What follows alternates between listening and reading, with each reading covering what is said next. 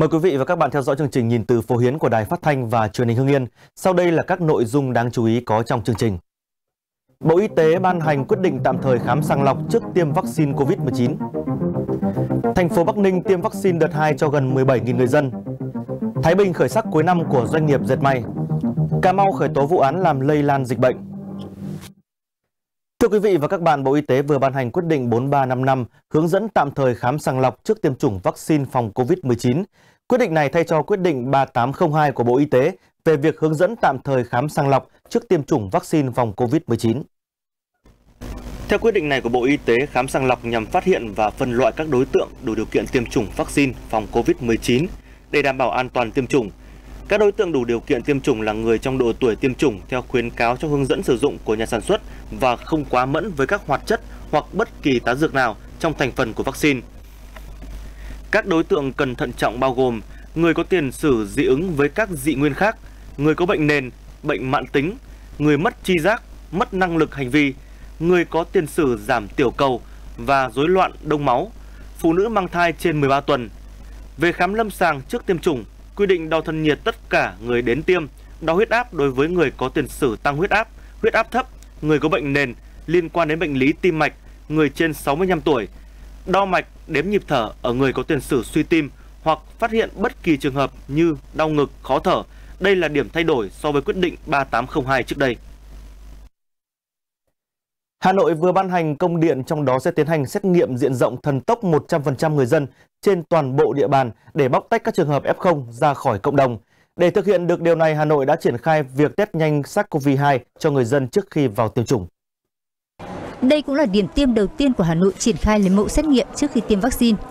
Quận Cầu Giấy đã triển khai việc xét nghiệm song song với tiêm chủng tại 12 điểm tiêm với mục tiêu vừa đảm bảo an toàn trong tiêm chủng, vừa sàng lọc phát hiện sớm các trường hợp nghi nhiễm trong cộng đồng. Và thông qua cái việc mà phát hiện sớm như vậy thì chúng tôi đã chủ động khoanh vùng đấy, điều tra truy vết các cái trường hợp liên quan thế và ờ, xử lý cái ổ dịch nó tốt cho nên là là đã không xảy ra cái bùng phát dịch. Để triển khai được kế hoạch xét nghiệm toàn bộ người dân trên 18 tuổi, ngoài việc triển khai test nhanh cùng tiêm chủng, Hà Nội cũng sẽ tiến hành mô hình đội lấy mẫu là các thành viên tự nguyện có trình độ đại học cao đẳng trở lên và có chuyên môn y tế. Toàn bộ hệ thống y tế tư nhân trên địa bàn thành phố cũng sẽ được huy động vào việc lấy mẫu và tiêm vaccine. À, cùng với cái việc à, à, tạo những cái vùng xanh an toàn là vừa xét nghiệm âm tính vừa được người dân vừa được tiêm chủng Hà Nội cũng sẽ hướng dẫn người dân tự lấy mẫu và có sự giám sát của nhân viên y tế, áp dụng các phương pháp xét nghiệm real-time PCR hoặc kháng nguyên nhanh, kết hợp với việc gộp mẫu phù hợp, tăng cường các điểm lấy mẫu di động tại các xã, phường, thị trấn. Sau ngày 12 tháng 9, tiếp tục lấy mẫu để giám sát, đánh giá nguy cơ. Huyện Phú Yên, tỉnh Sơn La đã triển khai xây dựng mô hình lán trại cách ly nhằm quản lý các trường hợp chưa khỏi bệnh và hoàn thành cách ly tập trung. Nhằm chủ động hệ thống cơ sở vật chất để thu dung, quản lý công dân là F0 đã khỏi bệnh và F1 đã hoàn thành cách ly tập trung tại huyện trở về địa phương. Thời gian qua, Ban chỉ đạo phòng chống dịch COVID-19 huyện Phú Yên, tỉnh Sơn La đã huy động tối đa nhân lực, vật lực để triển khai, xây dựng thí điểm mô hình lán trại cách ly, góp phần phục vụ công tác phòng chống dịch bệnh COVID-19 trên địa bàn. Bản Trung Thành, xã Kim Bon, huyện Phú Yên. Đây là một địa điểm được lựa chọn để xây dựng thí điểm mô hình lán trại cách ly. Người dân trong bản và các lực lượng chức năng đang ngày đêm chạy đua với thời gian để công trình sớm được hoàn thành, đưa vào sử dụng. Hiện nay, trên địa bàn xã Kim Bon đang có 101 người đang thực hiện cách ly và điều trị tập trung tại huyện. Trong đó có 49 người là F0, tiềm ẩn nhiều nguy cơ lây nhiễm dịch bệnh khi trở về địa phương. Trước tình hình trên, Ban chỉ đạo phòng chống dịch COVID-19 của huyện đã chỉ đạo các cơ quan chức năng phối hợp với cấp ủy chính quyền và xã Kim Bon xây dựng điểm cách ly với quy mô 10 lán trại, thiết kế với diện tích 8 mét vuông cho hai người ở, đảm bảo các tiêu chí thoáng về ban ngày, kín đáo, ấm áp về ban đêm và đủ các điều kiện về an toàn phòng chống dịch.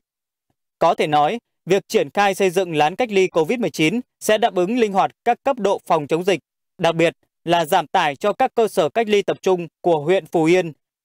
Thực hiện kế hoạch tiêm vaccine phòng COVID-19 cho người dân, từ ngày 9 đến ngày 12 tháng 9, thành phố Bắc Ninh tổ chức tiêm vaccine đợt 2, dự kiến có khoảng 17.000 người được tiêm mũi 2. Trong ngày 9 tháng 9, thành phố tiêm vaccine AstraZeneca cho 330 người có công với cách mạng, 1.057 đối tượng theo nghị quyết số 21 của chính phủ và người lao động của các công ty doanh nghiệp trên địa bàn thành phố. Để công tác tiêm chủng đảm bảo an toàn, đạt kết quả cao, Trung tâm Y tế thành phố bố trí 8 bàn tiêm, huy động hơn 70 cán bộ y bác sĩ tham gia phục vụ công tác tiêm chủng. Thời gian tổ chức tiêm được điều phối, phân chia hợp lý, khoa học theo từng khung giờ, tránh tập trung đông người trong cùng một thời điểm. Quá trình tổ chức tiêm được thực hiện theo nguyên tắc một chiều, đảm bảo khoảng cách giữa các bàn và vị trí tiêm. Đối với mỗi người dân trước khi vào tiêm đều bắt buộc kiểm tra thân nhiệt, đo huyết áp, khám sàng lọc và yêu cầu thực hiện nghiêm ngặt các biện pháp phòng chống dịch COVID-19. Theo kế hoạch, từ nay đến ngày 12 tháng 9, thành phố tiếp tục tổ chức tiêm vaccine phòng dịch COVID-19 cho khoảng 16.900 người dân trên địa bàn. Thưa quý vị và các bạn, thành phố Đà Nẵng đang áp dụng cấp giấy đi đường bằng mã QR code cho người dân triển khai nhanh chóng, tiện lợi cho người sử dụng. Lực lượng chức năng kiểm soát chặt và giảm tình trạng ùn tắc tại các chốt kiểm soát đó là những thuận lợi mà quét mã QR code mang lại. Chỉ mất từ 5 đến 10 giây, người dân đã có thể hoàn thành xong việc kiểm tra giấy đi đường tại chốt và tiếp tục hành trình. Lực lượng làm nhiệm vụ chỉ cần dùng máy điện thoại để quét mã QR code người dân cung cấp thì toàn bộ thông tin sẽ được cập nhật cái nhu cầu ra đường của người dân là rất là lớn à, phục vụ cho công việc cũng như các hoạt động hàng ngày à, với việc chuẩn bị sẵn à, lượng cái mã QR code việc qua các cái chốt kiểm soát cũng rất là dễ dàng nó sẽ giúp cho vấn đề mà lưu thông à, à, của người dân trở nên thuận tiện hơn cũng như việc lưu thông hàng hóa à, trở nên an toàn và hiệu quả hơn. Việc triển khai mẫu giấy đi đường mới giúp giảm nhiều ùn tắc giao thông giờ cao điểm, hạn chế tiếp xúc. Bên cạnh đó, việc cấp giấy đi đường lần này được thông qua hình thức trực tuyến, giúp giảm tình trạng người dân tập trung đông người ở các công ty, cơ quan, công sở chờ cấp giấy như trước đây. Thuận lợi trong các cái, cái việc à, kiểm tra cái tính à, xác thực rồi cái à, à, tuyến đường cũng như là những cái thông tin khác thì à, xác minh xác định được cái việc người phương tiện đó ra ra đường có đúng à, mục đích đúng tuyến thực hiện theo cái hướng là một cung đường hai điểm đến nó hạn chế đến nhất cái việc mà tạo thuận lợi để thực hiện tốt giãn cách xã hội. Thì Đà Nẵng cũng triển khai nhiều giải pháp à, công nghệ phòng dịch thì chúng tôi tiếp tục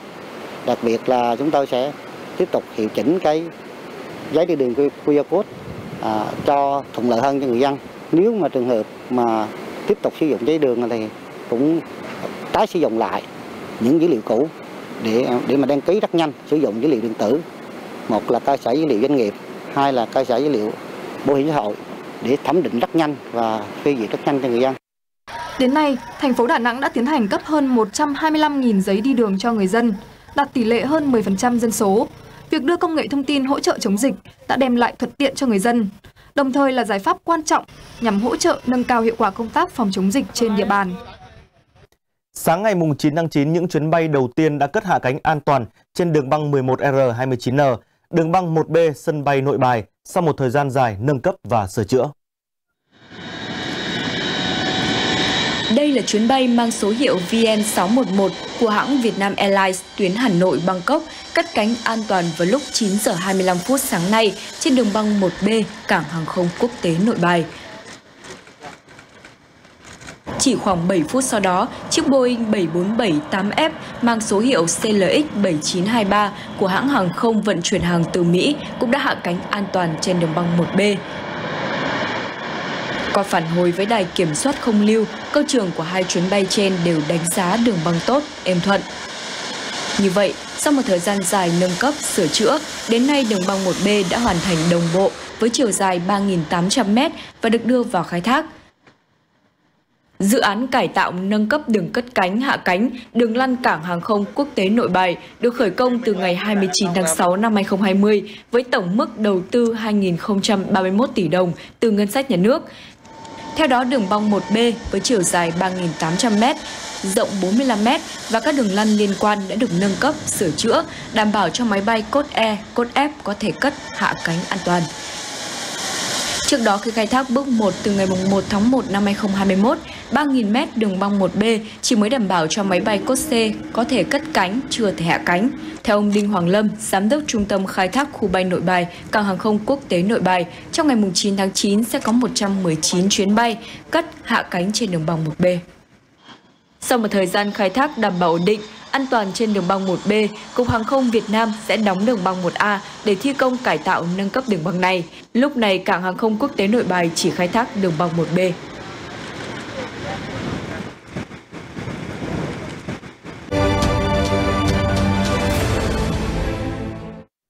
Do tỉnh Thái Bình thực hiện tốt công tác phòng chống dịch, giữ an toàn cho sản xuất nên không ít doanh nghiệp may mặc trên địa bàn tỉnh đã ký được hợp đồng đến năm 2022. Có thể kể đến là công ty cổ phần may xuất khẩu Đại Đồng huyện Đông Hưng, công ty trách nhiệm hữu hạn Soyong Fashion huyện Kiến Sương, công ty may xuất khẩu Tân Phong Sinu huyện Thái Thụy đều ký được đơn hàng đến tháng 1 hoặc tháng 4, thậm chí là đến hết năm 2022. Thời gian qua, các doanh nghiệp đã thực hiện hiệu quả chỉ đạo và giải pháp của tỉnh Thái Bình về mục tiêu kép vừa phòng chống dịch vừa ổn định sản xuất, người lao động yên tâm làm việc, bảo đảm năng suất, chất lượng sản phẩm. Thị trường chủ yếu của ngành may mặc Thái Bình vẫn là Mỹ, các nước châu Âu, Hàn Quốc và Nhật Bản. Nhờ sản xuất ổn định và khởi sắc trở lại, hiện nay thu nhập của người lao động ở một số doanh nghiệp đã tăng khoảng 10 đến 20% so với thời điểm đầu năm 2021. Trong giai đoạn 2016-2020, tỉnh Nam Định đã thu hút được gần 470 dự án đầu tư mới và điều chỉnh tăng vốn. Trong đó có hơn 360 dự án trong nước và 99 dự án đầu tư trực tiếp nước ngoài FDI với tổng số vốn đăng ký đạt trên 3 tỷ đô la Mỹ vốn FDI và trên 16.200 tỷ đồng vốn đầu tư trong nước. Số lượng doanh nghiệp thành lập mới hàng năm liên tục tăng, đến cuối năm 2020 đã có trên 9.500 doanh nghiệp đăng ký hoạt động trên địa bàn tỉnh, tăng khoảng 4.000 doanh nghiệp so với năm 2015. Bước vào nhiệm kỳ 2020-2025, tỉnh tiếp tục xác định thúc đẩy liên kết phát triển kinh tế xã hội nội vùng liên vùng trở thành một động lực quan trọng trong phát triển kinh tế xã hội địa phương, góp phần thúc đẩy thu hút các dự án đầu tư và phát triển doanh nghiệp trên địa bàn. Thời gian tới, toàn tỉnh tập trung triển khai điều chỉnh quy hoạch chung xây dựng các huyện đến năm 2030 theo hướng chú trọng đảm bảo thúc đẩy tính đồng bộ liên kết giữa các vùng liên huyện trong địa bàn tỉnh và tính liên kết giữa các tỉnh các vùng trong phạm vi toàn quốc, làm căn cứ thúc đẩy liên kết nội vùng, liên kết vùng trong giai đoạn tiếp theo. Thời gian qua, huyện Văn Giang, tỉnh Hưng Yên đã đẩy mạnh ứng dụng công nghệ thông tin trong hoạt động cơ quan nhà nước nhằm hiện đại hóa hành chính, đặc biệt là trước diễn biến phức tạp của dịch bệnh COVID-19. Thực hiện chỉ đạo của Thủ tướng Chính phủ, của Ủy ban Nhân dân tỉnh, huyện Văn Giang đã chỉ đạo các xã thị trấn đẩy mạnh tuyên truyền khuyến khích cán bộ công chức viên chức và người dân sử dụng dịch vụ công trực tuyến trong giải quyết thủ tục hành chính trên môi trường mạng để hạn chế việc đi lại, tiếp xúc nơi công cộng. Trong đó, chú trọng đẩy mạnh tuyên truyền hướng dẫn trên các phương tiện thông tin đại chúng về dịch vụ công trực tuyến mức độ 3, mức độ 4 để người dân biết và nắm được. Bộ phận một cửa Ủy ban Nhân dân huyện cũng đã phối hợp với Bưu điện huyện thực hiện dịch vụ bưu chính công ích trả hồ sơ qua dịch vụ này. Từ đầu năm 2021 đến ngày 31 tháng 8 năm 2021, Bộ phận một cửa, một cửa liên thông huyện Văn Giang đã tiếp nhận hơn 8.900 hồ sơ, trong đó hồ sơ giải quyết trước hạn và đúng hạn đạt tỷ lệ 99,6%. Trong thời gian tới, huyện Văn Giang tiếp tục đẩy mạnh hơn nữa việc sử dụng dịch vụ công trực tuyến và xem đây là một nội dung quan trọng trong tiến trình cải cách hành chính, triển khai chính phủ điện tử. Tại khu công nghiệp Tăng Lòng thuộc huyện Bảo Thắng, tỉnh Lào Cai, hiện có 95 hộ dân nằm trong khu vực ô nhiễm do hoạt động của các nhà máy cần được di rời. Mặc dù công tác thống kê, đền bù tài sản cho người dân đã diễn ra từ hơn một năm, nhưng đến nay vẫn còn gần 50 hộ dân chưa được chi trả tiền đền bù theo cam kết của các doanh nghiệp. Nhiều năm nay, 37 hộ dân thuộc tổ 7 thị trấn Tăng Lỏng phải sống chung với ô nhiễm. Năm 2020, người dân vui mừng khi được thống kê hỗ trợ di rời, nhưng niềm vui ngắn chẳng tầy gang khi mà việc thống kê này vẫn ở trên bản giấy. Dục dịch từ năm 17 cơ, thế nhưng mà đến khi mà coi là thống kê thì là không ờ, vẫn chưa cho dân chúng tôi chuyển chạy thì thế mà hai nữa là độc hại thì khói mù mà bây giờ chúng tôi đã xác định là đã theo nhất trí cho chúng tôi. Đi chúng tôi nhất trí rồi, chúng tôi không có oan tháng gì nữa thì bây giờ làm sao nhanh chóng để bồi thường cho chúng tôi, hỗ trợ đất tái định cư cho chúng tôi. Là lúc thống kê thì cái giá đất ngoài thị trường là nó rất thấp. Giá vật liệu xây dựng nó rất thấp. Thế mà bây giờ là càng ngày càng để lâu thì nhân dân bây giờ là đi ra ngoài là không có tiền mua đất nữa. Đến nay, huyện Bảo Thắng mới chỉ phê duyệt di rời cho được 67 trên 95 hộ dân kể trên. Huyện cũng đã ứng trước gần 30 tỷ đồng để chi trả hỗ trợ đền bù. Việc di chuyển các hộ dân trong vùng ô nhiễm có cả cam kết hỗ trợ 100 tỷ đồng của các nhà máy đang hoạt động tại khu công nghiệp Tàng Lỏng. Thế nhưng đến nay, nhiều doanh nghiệp vẫn chưa thực hiện nghĩa vụ hỗ trợ như đã cam kết. Đối với doanh nghiệp mà ờ, làm ăn có hiệu quả thì người ta có thể trích từ cái lợi nhuận để thực hiện cái việc ờ, đóng góp để di rời vân nhưng một số doanh nghiệp là hiện nay đang ờ, hoạt động với ờ, bù lỗ. Thì cái cái cái chi phí hạch toán để cái việc ờ, góp, đóng góp cái tiền di chuyển dân này thì cũng, doanh nghiệp cũng có cái cơ sở để đưa vào hạch toán và giá thành chúng tôi có cùng với các đơn vị liên quan đó cũng đã có cái ừ, đôn đốc các doanh nghiệp rồi. Nhưng mà tiếp tục trong thời gian tới vẫn phải thực hiện. Đôn đốc các doanh nghiệp thực hiện. Sức khỏe của người dân bị ảnh hưởng nghiêm trọng nên việc di rời là hết sức cần thiết. Chính quyền địa phương và các doanh nghiệp cần sớm có giải pháp để người dân có chỗ ở mới, ổn định cuộc sống. Quảng Bình là một trong các địa phương chịu nhiều thiệt hại khá nặng nề trong trận mưa lũ lịch sử tại các tỉnh miền Trung cuối năm 2020. Do đó bước vào mùa mưa bão năm nay, địa phương này đã chủ động triển khai nhiều giải pháp nhằm chủ động ứng phó và hạn chế tối đa thiệt hại, đảm bảo an toàn cho người dân địa phương.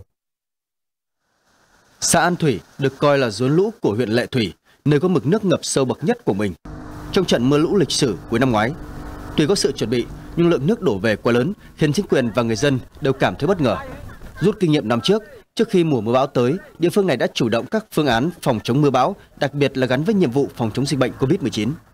Ban đã có các cái phương án nhằm ứng phó với thiên tai, dịch bệnh, đặc biệt là các cái khu uh, vực để trốn tránh trong quá trình là lũ lụt lớn hoặc là thiên tai xảy ra là bất thường là có các cái khu tránh trú an toàn vâng, kết hợp với phòng chống dịch bệnh tránh lây lan trên diện rộng. À, hiện nay thì 26 trên 26 xã đã kích hoạt các cái khu cách ly và chúng tôi tiếp tục kích hoạt cái khu cách ly thứ hai ở các xã để mà dự phòng phương án khi mà à, có cái thiên tai xảy ra, đặc biệt là lũ lụt thì chúng tôi sẽ di dời à, những cái người dân ở các cái điểm cách ly của xã và của huyện có thể lên các cái tầng cao hơn và di tản ra các cái vùng mà ở khu cách ly tập trung là cao tầng à, hoặc là khu cách ly thứ hai để mà vừa đảm bảo cái giãn kết ở khu cách ly nhưng mà vừa đảm bảo cho bà con là à, vượt lũ và phòng chống thiên tai cho nó tốt. Trên toàn tỉnh Quảng Bình, lực lượng tham gia phòng chống dịch kết hợp phòng chống thiên tai được ưu tiên tiêm vaccine mũi một. Chỉ còn ít ngày nữa, cơn bão Côn Sơn sẽ đổ bộ đất liền nước ta. Hàng loạt các hoạt động giúp người dân thu hoạch vụ lúa hè thu, neo đậu tàu thuyền, chẳng chống nhà cửa đã được các lực lượng chức năng địa phương triển khai. Cái tổng số là 6.500 cái tàu thuyền của Quảng Bình đã vào nơi trú đầu trú tránh an toàn. Thì còn khoảng 124 cái tàu đang khai thác ở cái vùng vịnh Bắc Bộ. Thì chúng tôi đã giữ cái liên lạc với các cái tàu và để đã kêu gọi để các cái tàu cập bờ. Thì khả năng trong chiều hôm nay các tàu sẽ cập bờ và, và sẽ vào cái khu neo đậu an toàn trong chiều hôm nay việc thứ hai đó là quan tâm thì à, trong cái hoàn lưu bão trước bão và sau bão thì sẽ có cái nguy cơ là mưa lớn thì gây cả cái hiện tượng ngập lụt cục bộ ở một số cái địa bàn thì chúng tôi đã có cái phương án sẵn sàng để à, bố trí di dời dân ở những cái khu vực có thể xảy ra ngập lụt cũng như ra soát lại tất cả các cái điểm có thể nguy cơ gây sạt lở để di dời dân đến nơi những nơi an toàn. Hiện nay, các hồ đập tại Quảng Bình đã được đưa về mực nước thấp, sẵn sàng cho các diễn biến của mưa bão. Tuy nhiên, việc vừa chống dịch bệnh, vừa chống bão sắp tới là nhiệm vụ kép đặc biệt và rất khác các lần chống bão trước đây, đòi hỏi sự nỗ lực rất lớn của cả chính quyền và người dân địa phương. Phòng An ninh Chính trị Nội bộ Công an thành phố Cần Thơ vừa phối hợp với thanh tra Sở Thông tin và Truyền thông thành phố Cần Thơ làm việc với một người về hành vi đưa thông tin sai sự thật lên Facebook. Trước đó, hai tài khoản là Dương Dương và Kim Ngân do N lập thường xuyên đăng tải, chia sẻ các thông tin liên quan đến việc dùng run đất địa long để điều trị bệnh COVID-19, quảng cáo mua bán các loại thuốc địa long. Theo kết luận của cơ quan chức năng, thông tin run đất trị được bệnh COVID-19 chưa có cơ sở khoa học. Đến nay, Bộ Y tế chưa có văn bản hướng dẫn, công nhận hoặc cho phép sử dụng run đất để điều trị bệnh COVID-19. Cơ quan chức năng đang tiếp tục củng cố hồ sơ xử lý nghiêm theo quy định. Công an huyện Trần Văn Thời, tỉnh Cà Mau vừa ra quyết định khởi tố vụ án làm lây lan dịch bệnh truyền nhiễm nguy hiểm cho người xảy ra tại xã Khánh Bình, huyện Trần Văn Thời, tỉnh Cà Mau. Theo kết quả điều tra ban đầu ngày 23 tháng 8, Hát cư ngụ xã Quách Phẩm Bắc, huyện Đầm Rơi, tạm trú tại phường 8, thành phố Cà Mau, biết bản thân có tiếp xúc gần với bệnh nhân F0 ở cùng dãy nhà trọ, nhưng Hát vẫn cùng vợ về quê tại xã Khánh Bình, huyện Trần Văn Thời mà không khai báo y tế, dẫn đến lây lan chùm ca bệnh SARS-CoV-2 tại ấp 1 trên 5. Qua đó xác định đã có 6 F0, 64 F1, 465 F2 và buộc phải phong tỏa cách ly y tế hai ấp trên địa bàn. Hiện nay, Công an huyện Trần Văn Thời đang khẩn trương điều tra làm rõ và xử lý theo quy định. Chương trình Nhìn từ phố Hiến hôm nay của chúng tôi xin được kết thúc tại đây. Xin kính chào và hẹn gặp lại.